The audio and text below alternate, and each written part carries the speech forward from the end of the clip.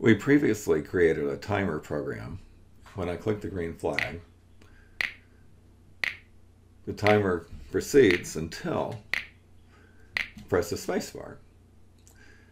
Now, if uh, we would like to extend this so that we can record minutes as well as seconds, we'll begin by adding a new variable, and we're going to call that minutes. Now, at this point, uh, I've got minutes as well as seconds.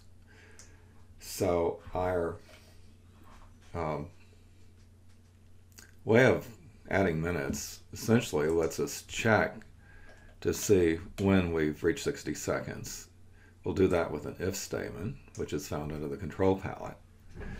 And then I'll need to go to the operators palette and I'll say if the uh, seconds are equal to 60 and I'm going to drag the seconds variable right into here and then add 60 then I need to tell it what to do.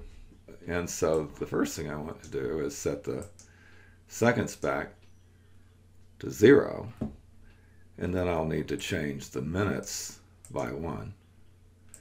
So now we're going to just drop this in at the bottom of the forever loop. And uh, when we let the program run, it will take a minute before we get there. But eventually, when we count up to 59, we'll then at the 60th second reset the seconds to zero and increase the minutes count to one. The if statement uh, is at the heart of most of programming.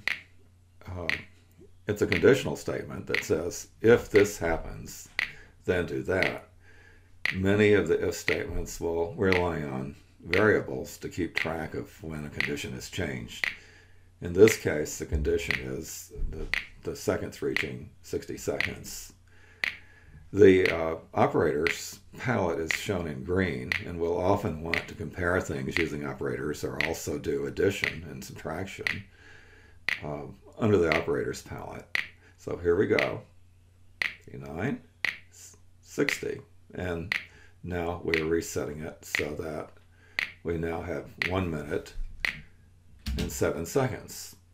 So we've extended our counter uh, to include both minutes and seconds. I'll, now at this point, I should go up and save my program so that I'll have this feature saved as well.